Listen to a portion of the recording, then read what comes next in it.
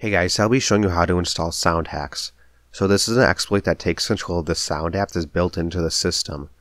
So that being said, you don't need to buy another game in order for this exploit to work. So to install this, you need to go to this website.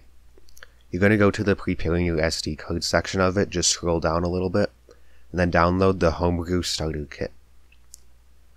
So then you're going to go to your downloads and you should see this.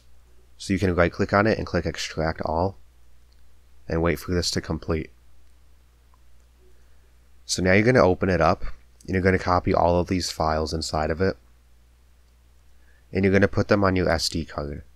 So this is the one that I took out of the back of my 3DS. If you have an old 3DS then it would be on the side of it. So if you see anything that says to merge folders or replace items then you can do this for all conflicts, copy and replace. And you can wait for this to get done. It shouldn't take too long. So then when it's done, you're going to go down a little bit more and you're going to go to the other app payloads. So on here you're going to enter your console's information exactly as it appears in system settings. So for me I have a new 11.2.0-35U. So this is what it looks like in system settings for me. So I'm going to click download other app. So I'm going to go to my downloads and I'm going to rename this to other app.bin. You don't need to put the .bin extension because it's already there. So now we're going to go to the Soundhax GitHub page. I'll also have this in the description too. So you're going to download the M4A audio file for your region. At the time of making this video, all they have is USA, but there's likely going to be other ones available soon. So you can click on this, and you're going to click download. So now I'm going to go back to my downloads, and I'm going to copy both of these files.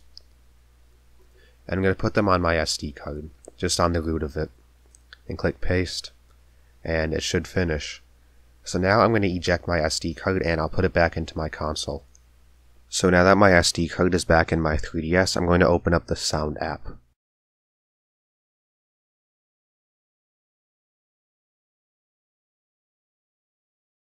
So once it's open up, you, it should detect that there is a file on the SD card.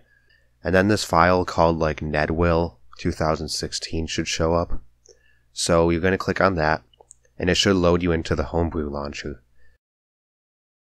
So yeah, that's it. It should load and the app should work.